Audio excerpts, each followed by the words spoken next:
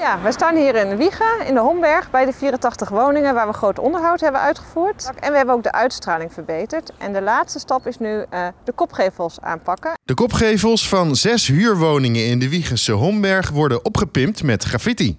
Bewoners van die huizen mogen zelf meebeslissen over de plaatjes. We hebben verschillende keren foto's doorgestuurd gekregen. En het was eigenlijk meestemmig gelden welke foto's tot de kopse kant zou komen.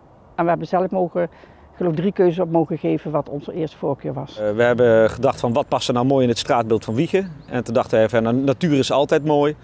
En zodoende zijn we op een aantal eh, planten en dieren gekomen. En het leuke van het verhaal is dat uh, alle foto's gemaakt zijn in Wiegen. Het is gebaseerd op foto's en die, die painten wij dan na met spuitbussen. De plaatjes zijn makkelijk te painten. Nou, we beginnen gewoon met het uh, uitmeten. Dus we zetten de eerste de lijnen op de muur en vervolgens uh, gaan we alles uh, vullen met grondverf, dekkende grondverf.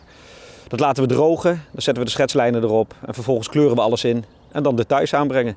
Naar verwachting zijn de graffiti-artiesten aanstaande vrijdag al klaar. Omwonenden zijn nu al enthousiast. Ja, ik sta uh, met bewondering te kijken. Ja, ik vind het geweldig. Ja. Ja, het is hier te pas, hè. het is weer iets nieuws. Dus alles wat in deze wijk vernieuwd wordt, het, uh, ja, dat lijkt me toch wel goed. Het geeft ook gesprekstof, merk ik nou al.